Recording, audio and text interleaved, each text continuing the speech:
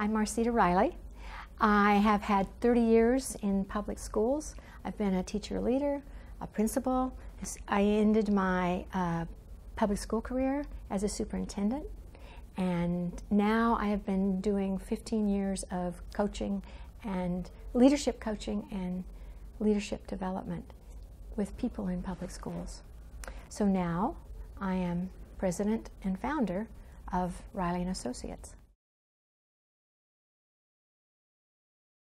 So my field of expertise is in motivating and energizing, really re-energizing staff to do the hard, daunting, challenging work to make these changes in our schools, these instructional changes in our schools that will make a difference in student learning.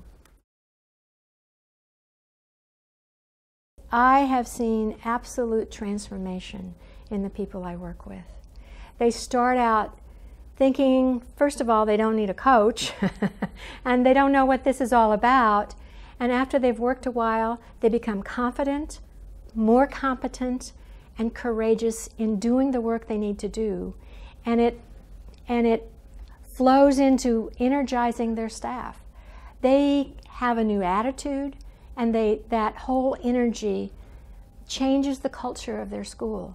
And they become so excited and so committed and people will tell them, in fact, I had a, a, a principal say the other day, she, she, said, you know, I've been doing the, the, my evaluations, my teacher evaluations, like we've been talking about.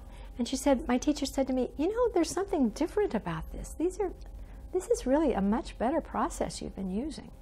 And that, that really thrills me because I know that my work and the work that they're doing is really making a difference.